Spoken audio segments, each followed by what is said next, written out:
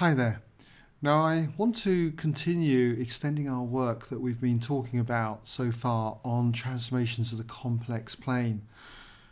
By working with the example that we've been using, the mod of z equaling 1, and I'm going to look at transformations of this particular form. w equals a constant times z plus another complex number a plus ib. And to demonstrate this, I've got this example here where we've got the point P represents the complex number Z on an Argand diagram where the modulus of Z equals 1 and where Z equals x plus iy. And what we've got to do now is sketch the locus of a point Q under the transformation W equals 2Z plus 3 minus I, where W equals U plus IV. So you can see that this transformation here takes on this particular form.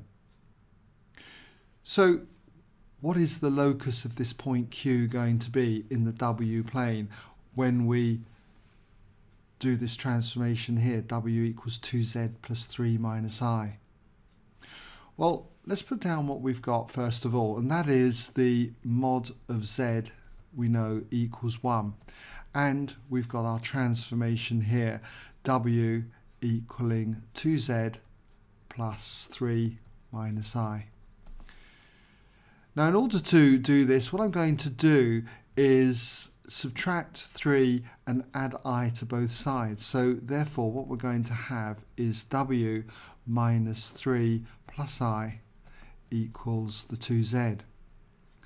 Now if I take the modulus to both sides and at the same time just rearrange this to be w minus and if I put this in brackets we'll have 3 there but minus i okay so we've got the modulus now of w minus all of 3 minus i and it must equal the modulus of 2z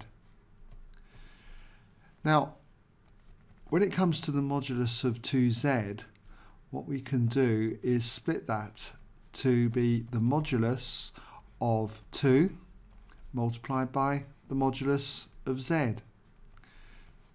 Now the modulus of z we know is 1 and the modulus of 2 is just going to be 2 so 2 times 1 is 2 so what we've got here now is the modulus then of w minus and then in brackets 3 minus i equals 2 now you should recognize this particular equation. We've looked at it in the past in the locus of complex numbers. This represents a circle of radius 2 with a centre coordinates 3 minus 1. So what we've got under this transformation then is a circle of radius 2 with centre at 3 minus 1. And this is the locus then of the point Q represented by W equaling U plus IV under this transformation. So what has actually happened? The value K, which in this example is 2, has enlarged our shape by a scale factor of 2 centre the origin. And then we've got this other complex number added on, 3 minus i.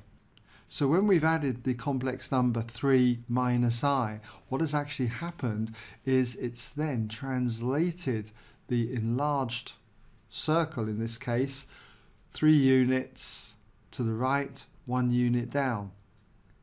So what we've got then is an enlargement of z by a scale factor of 2 centre the origin, followed by a translation by the vector 3 minus 1. So in general, this particular transformation, what does it do? Well, W equals kz plus a plus ib represents an enlargement scale factor k center the origin, followed by a translation vector a b, where k is a positive value. Okay, well I hope that's given you some idea then how this particular transformation works.